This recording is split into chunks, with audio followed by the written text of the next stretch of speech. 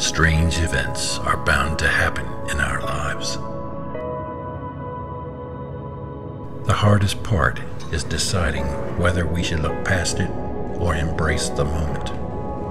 Some see it as a curse, others see it as a gift. These occasions may happen at the most unexpected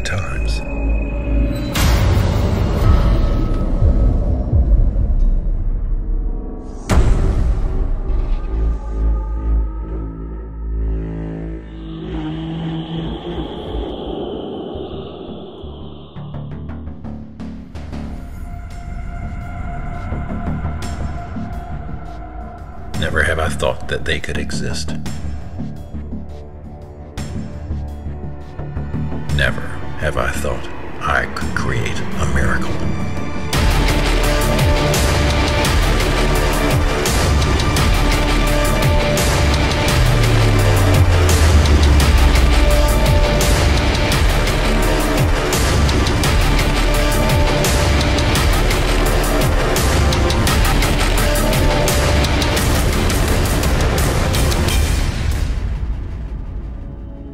These rare occurrences may be a climactic chapter of one's life.